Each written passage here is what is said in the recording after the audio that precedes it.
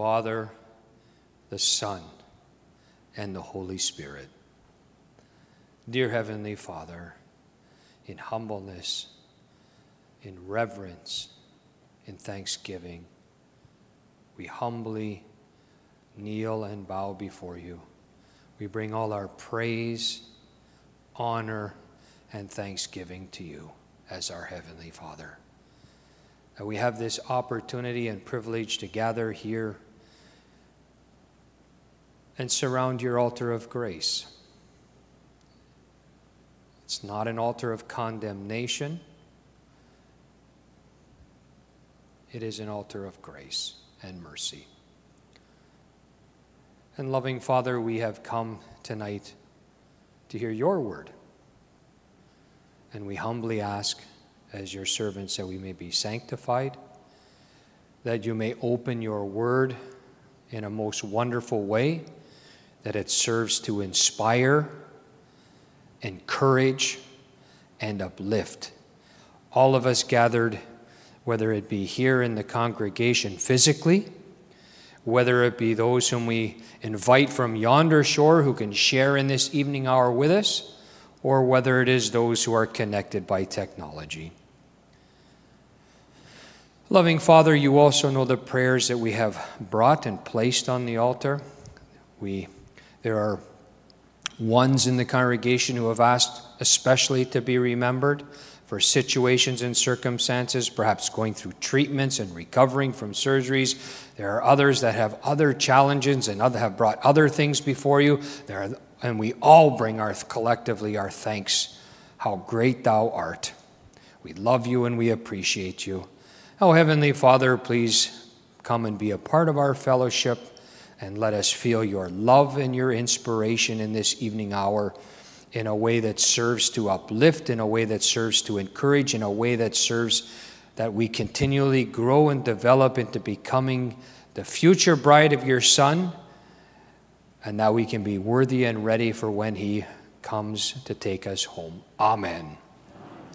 My dear brothers and sisters and friends, good evening, and those gathered with us, as we mentioned, via technology, and yeah, even those from yonder shore who can share in this evening hour with us.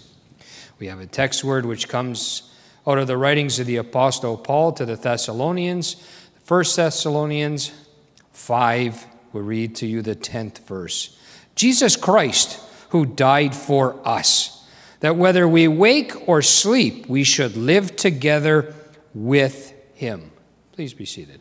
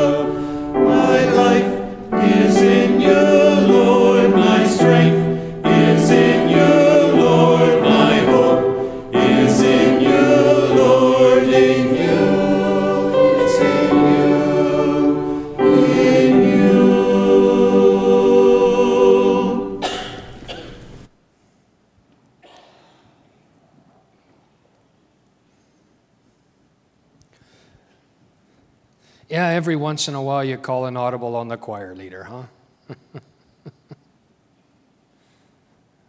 I could pretty much just say amen right now. And there might be some that say, okay, let's do it that way. But the word that we have this evening from the writings out of the Apostle Paul is a very powerful message. And one and the other might think, well, you know, that's something we've heard before. It's not new, it's not the first time we've heard it. But yet, it's a very powerful message. And it's good to hear this message again Christ, or living with Christ. Because that's what we, as children of God, that's what we as Christians, that's what already we work towards today.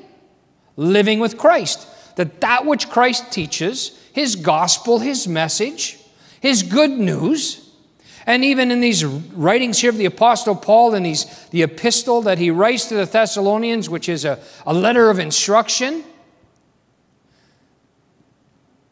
that that continues to grow and develop in you and my, in your and my soul. That it is nurtured. You know, I, when I thought together in this evening hour, I thought of a campfire, or those of us who have maybe a fireplace at our home. Yeah, when you put the logs in and you start the fire, you can't just walk away and let the fire burn and expect that that's going to burn for the next six hours. If it does, you got one big fireplace. But after a half an hour or after 30 minutes or whatever, you've got to go and throw some more wood in there, get the fire going again. Get, the, get it heated up. And so, too, the word that you and I hear it is in order to inspire you and I again. It's in order to kind of stoke that flame and that fire. And the word that our apostle of old mentions, I'd like to go back one and, and read to you also the ninth verse because it said, For God did not appoint us to wrath, but to obtain salvation through our Lord Jesus Christ. And when I read that, that's a, to me, I took that, that's a promise. That's what our Savior, that's what our Heavenly Father wants. That you and I, that we obtain salvation. That we are part of the bride of Christ, that we become those who are, yes, we've heard them referred to even as firstlings, as those who, who, who are Christ's bride. When I read and prepared this evening, and I right away and I know our, our choir leaders, they, they do a wonderful job, and it, it takes time to put the schedule together. So I wondered, what is the opening hymn they were going to pick for tonight? Because this song that our deacon picked was the song that came into my heart when I started to read our Divine Service Guide. Christ living in us. Christ liveth. I think in the old blue book it said, Christ liveth in me, was maybe the wording.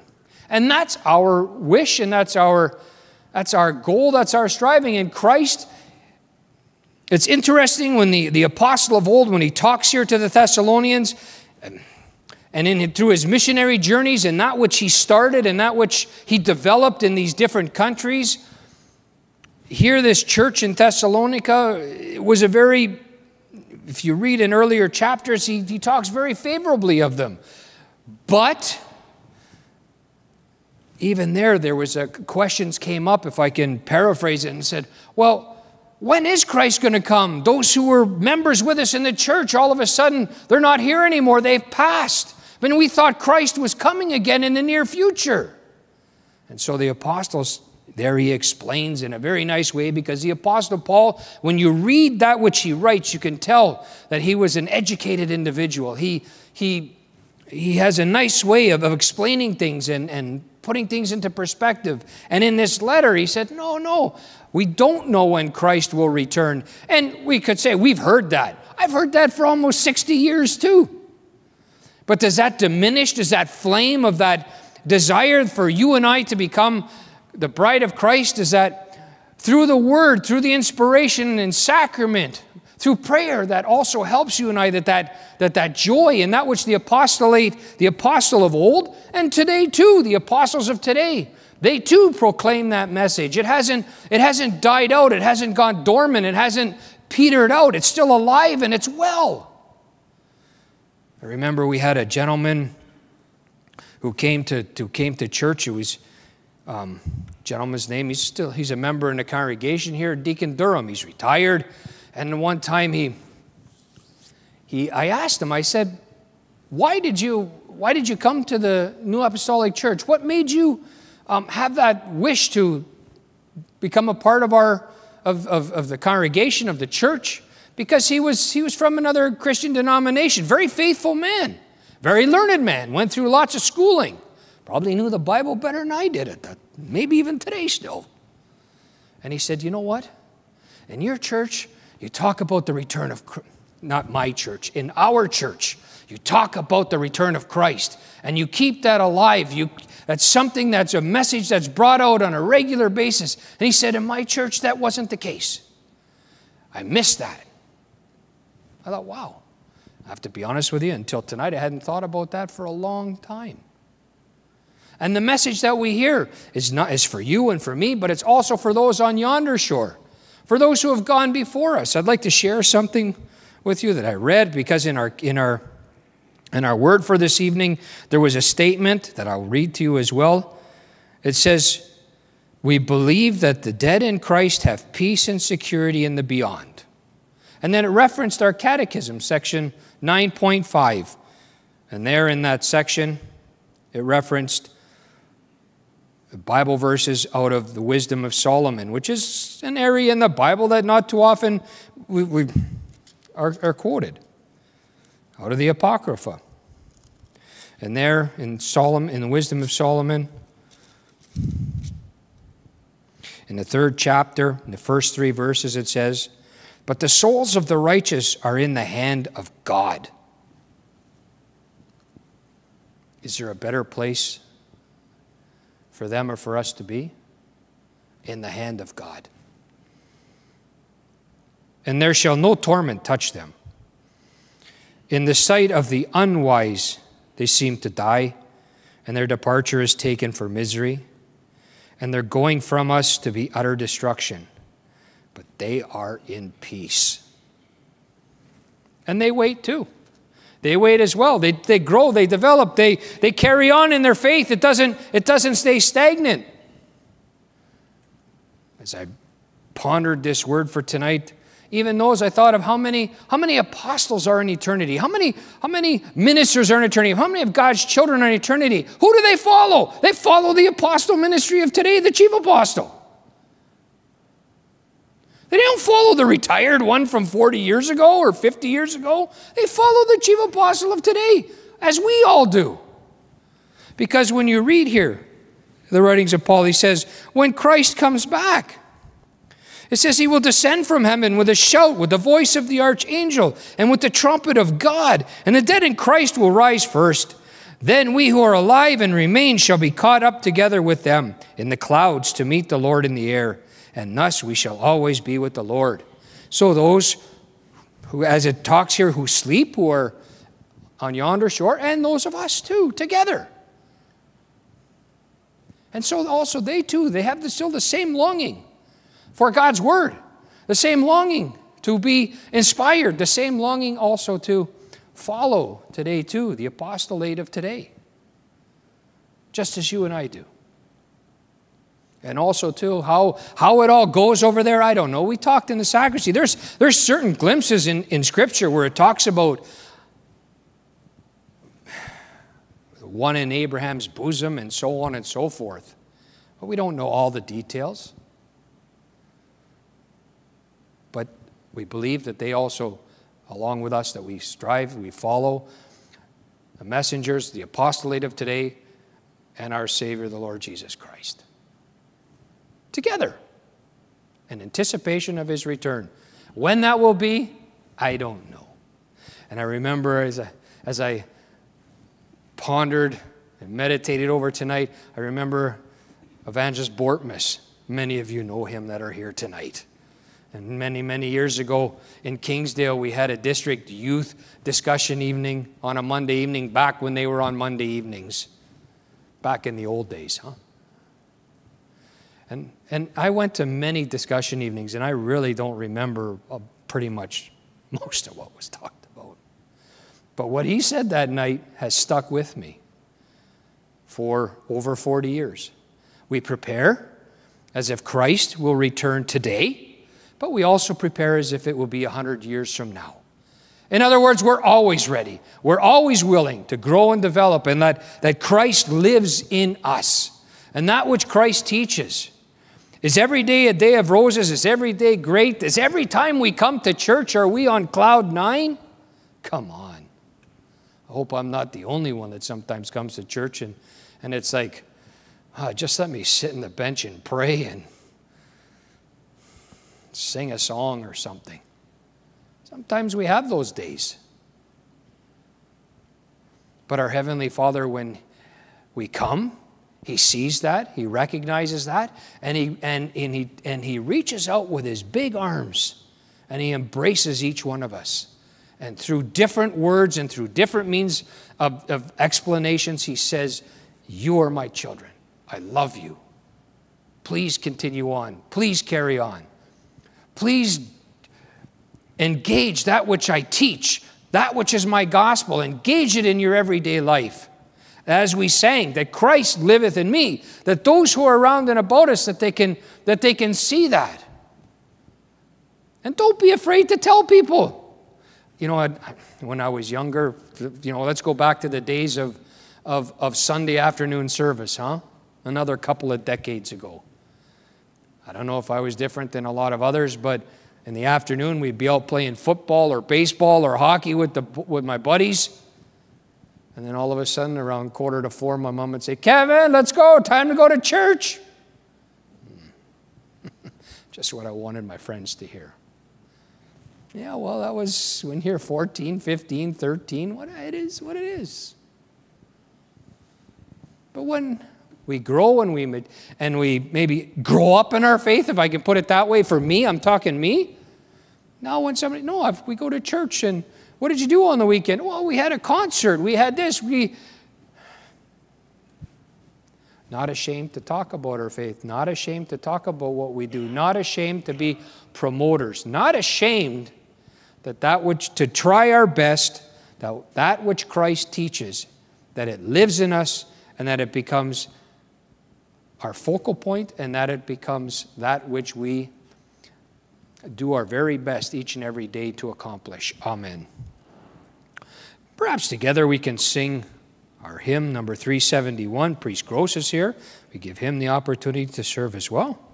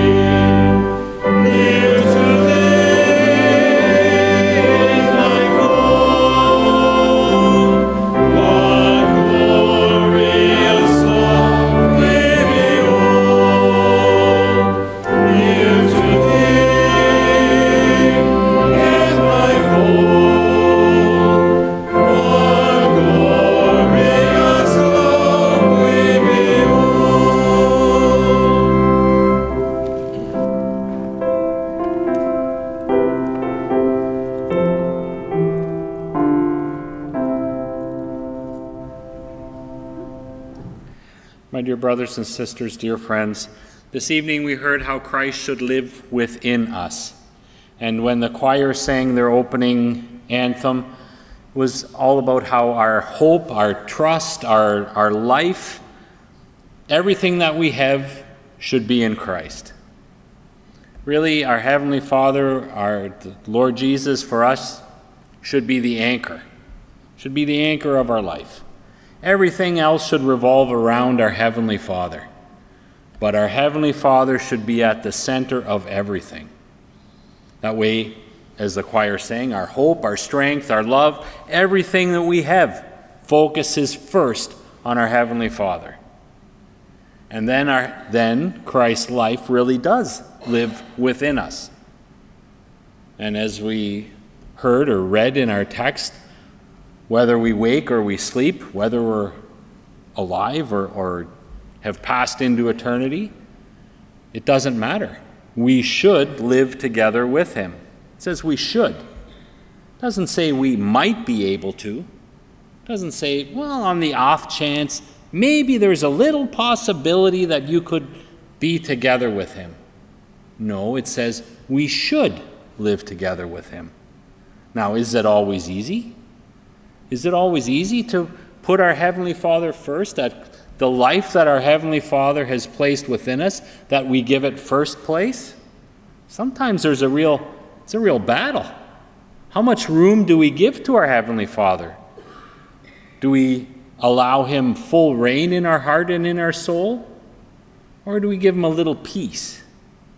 Or do we maybe put, put Christ's life on like we put on our black and white when we go to church?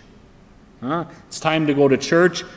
I don't know about you, but really the only time I wear my black suit is to come to church. Other than that, it, it sits in the closet.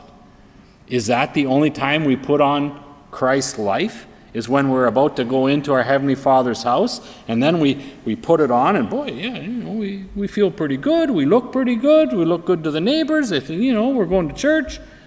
It all looks good. But have we given that room to our Heavenly Father? Have we given the room to the Lord Jesus that He actually lives within our heart and, and in our soul? And not that He only lives there and we give Him, you know, it, we're not just renting a little piece, right? We're not just rent, well, you know, my heart, I can divide it into, you know, a fourplex. And, and Heavenly Father, you know, you can have the bottom floor but the other three levels, hey, that, that's for me. I'm going to do what I want in those other three levels. No. We have to let Him live in all of our heart and all of our soul, in everything we do, in all that we, in what we say, in what we do, how we act, how we react, what we think. All that should revolve around our Heavenly Father. And are we perfect? No, we're not perfect. And our Heavenly Father realizes that. There's room for improvement in each and every one of us. I, I, I know for myself, there's a lot of room for improvement. And that's why we come into our Heavenly Father's house, that we could have our sins forgiven, that we could receive the new life, the new strength to continue on, that we can give our Heavenly Father more space, that we can give Him more room, that it can be more evident in our nature that Christ lives in us and that He is a part of us and that we are a part of Him. That, as we read, we should live together with Him. We want to be living together with our Heavenly Father. That's the goal of our faith. But we have that opportunity already today here on this earth to live with him it's not something we're, we put off and yeah down the road yeah th- then we'll live with christ and everything will be fine and you know, the streets are paved with gold and there's no, no sorrow, no pain, yeah, then I'll believe and then it'll be real easy. No, we have to do it today. We have to start today. We can't wait till tomorrow. We can't wait and, and hope that down the road our Heavenly Father will send, I don't know what we figure He'll send to make it easy for us. We have to put the effort in today. We have to put the work in today. We have to give room today to our Heavenly Father so that it is evident to Him when He sends His Son. And we want to be worthy. We want to be a part of the bride of Christ. Who's He going to pick? Who's He going to choose? Is He going to take those with Him that His life lives within them? Or will He take the ones that are, you know, well, part time? Every once in a while. No. He's going to pick those that have committed themselves, that have tried their best. That's what we want to do. That's what we want to continue to do. That's what we will strive to do in the future. Amen.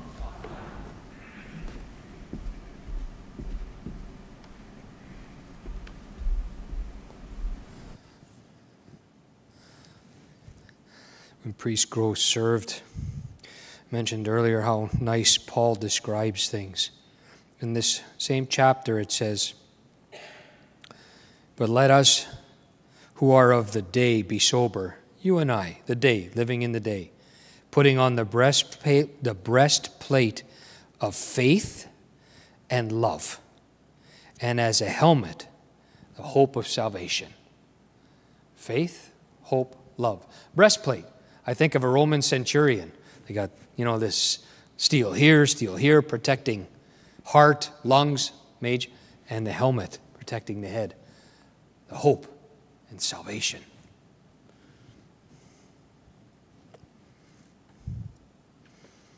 Recently, I read an article on nac.today. And it referenced the New Apostolic hit in our hymnal. Bet you never heard it described like that before, huh? Song number 390. And in there, it's a very nice phrase that I thought of for in preparation for Holy Communion. His word of mercy our souls does nourish. What is that word?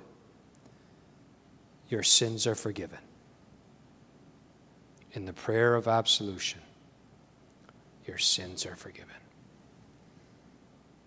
His word of mercy, our thirst does quench. We praise him evermore. Our God is loving our God is loving. He loves us all. And in preparation for Holy Communion together, we can sing our hymn of repentance, number 353.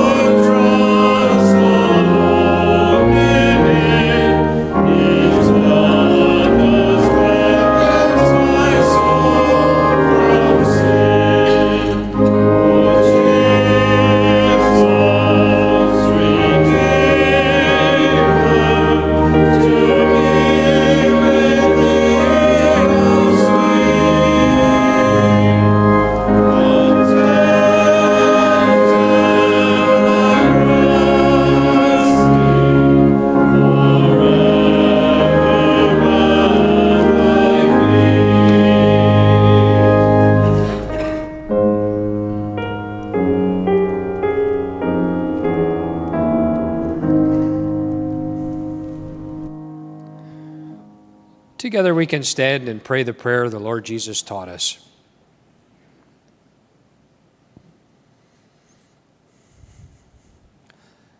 Our Father in heaven, hallowed be your name. Your kingdom come, your will be done on earth as it is in heaven. Give us this day our daily bread and forgive us our debts as we forgive our debtors. And do not lead us into temptation, but deliver us from the evil one. For yours is the kingdom, and the power, and the glory forever. Amen. In the commission of my sender, the apostle, I proclaim unto you the glad tidings that in the name of our Lord Jesus Christ, the Son of the living God, your sins are forgiven, and the peace of the risen one abide with you. Amen. Kind and loving Heavenly Father, when we allow the words and the prayer of absolution to seep over our soul.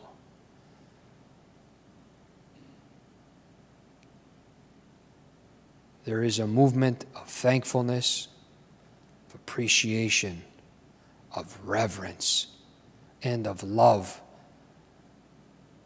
for that which you permitted and your son went through, the great love that they have for us.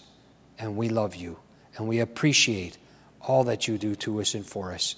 And help that that love that you have showed to us, that we can show to others, and that together we may continue to grow into becoming the bride of your Son. Amen.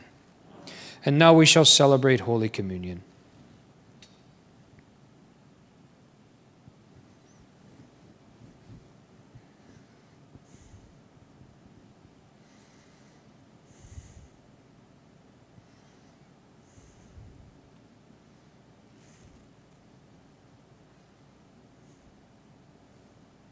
And now the Lord's table is prepared.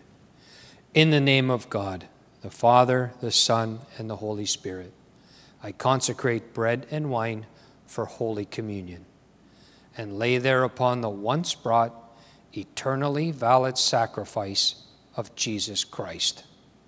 For the Lord took bread and wine, gave thanks, and said, This is my body which is broken for you. This is my blood of the new covenant, given for many for the remission of sins. Eat and drink. Do this in remembrance of me. For as often as you eat this bread and drink this wine, you proclaim the Lord's death till he comes. Amen. Body and blood of Jesus given for you. Amen.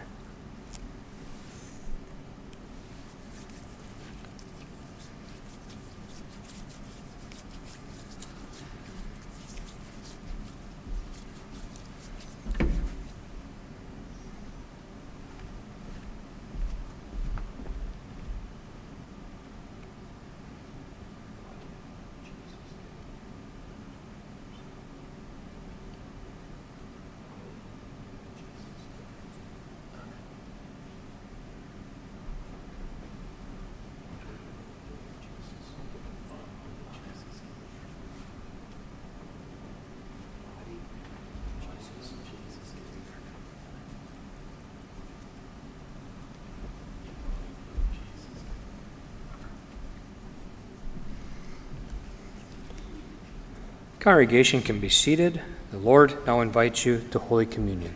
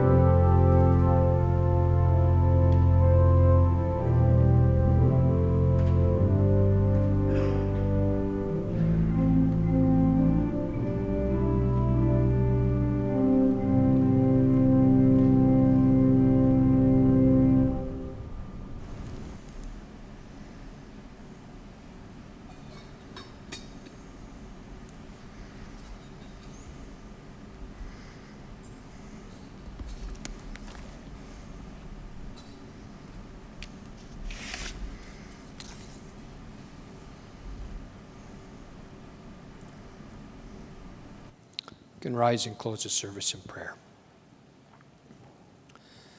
Kind and loving Heavenly Father, again, we, not as a broken record, but in humbleness and praise and honor and glory to you, we tenderly knock at your heart's door. And Father of love, we, we are thankful that we can gather here in your house, here at your altar of grace and mercy. Father of love, help us that we may continue to grow in oneness and unity. I'm reminded as I stand here of the sign that used to be written on the back on the on the balcony of the church on Victoria Street. Love built this church. Unity will preserve it. And then at one time I was told there's a third verse, verse faith will preserve it love, unity, faith. And help that, Father, we can continue in these attributes and all that your gospel teaches us in order to grow in faith, in order that those who yet long for your word and for Christ and for salvation, that they too can be drawn in, the friends, and that your work may grow here and on yonder shore. Father, we pray for the offerings and sacrifices which are brought in the congregation, please lay the fullness of your blessing upon them. We pray for the bereaved, Father, the Bechtold family as well. We pray for here our rector who will conduct the service for our faithful sister tomorrow evening, Sister Bechtold.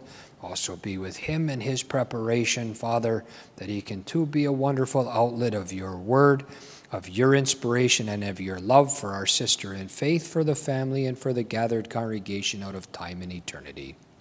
Bless our fellowship and that which is provided to, dear Father. And later, as we travel home, please let your angel protection accompany each one, and that we may continue to eagerly await the return of your Son, that he may come, and that we can be worthy to be his bride. We ask and if we miss something, we know there are those that have asked me remembered many different situations. Please be with each one. We remember them, Father. We carry them in our heart. And we ask all of these things in the name of your Son, Christ. Amen. The grace of our Lord Jesus Christ and the love of God and the communion of the Holy Spirit be with you all. Amen.